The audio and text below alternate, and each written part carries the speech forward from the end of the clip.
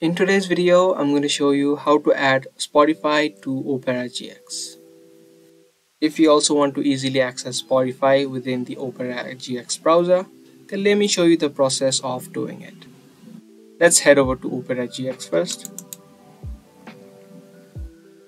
Now you'll need to manage a couple of setups. You can find the Spotify option on the Opera GX on the Players tab. So on the left sidebar, click on the players option and menu will open up. Just click on the Spotify option. Once you do, you can log into your Spotify account.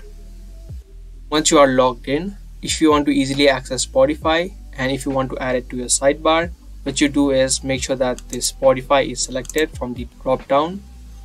Whenever you click on the player option, the Spotify immediately opens up. Even when you close the tab, or close the browser when you open up again. The Spotify will always open up once you click on the player. So that's the way of adding Spotify to Opera GX.